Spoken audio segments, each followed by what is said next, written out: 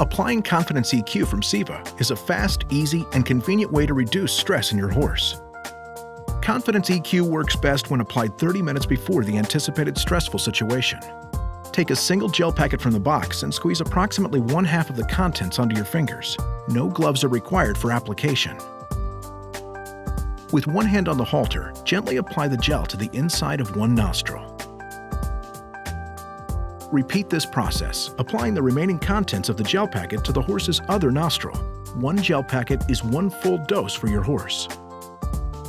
Some horses may raise their upper lip after Confidence EQ is applied. This natural behavior, called the Flehmen response, is how the horse receives and interprets the pheromone in Confidence EQ. Even if your horse doesn't display this response, Confidence EQ is still working.